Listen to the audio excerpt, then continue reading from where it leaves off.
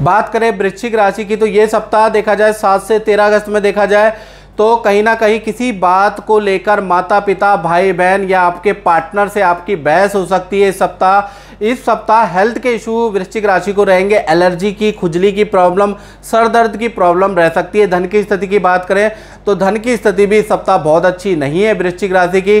धन के लिए क्लाइंटों से वाद विवाद हो सकता है, मित्रों से वाद विवाद हो सकता है।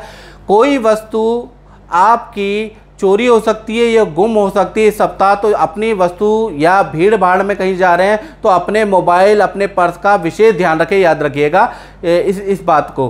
करियर के बारे में बात करें तो इस सप्ताह आपका करियर सामान्य रहेगा, थोड़ा वर्कलोड से बिज़ी रह सकते हैं, और देखा जाए तो जो काम इस सप्ताह, जो मीटिंगें इस सप्ताह होने वाली थी, वो आगे डिले हो सकती है, ऐसा योग नज़र आ रहा है। रिलेशनशिप की बात करें तो इस सप्ताह देखा जाए तो आपके पार्टनर के लिए ये सप्ताह बहुत अच्छा है। उनके पद में कुछ लाभ हो सकता है।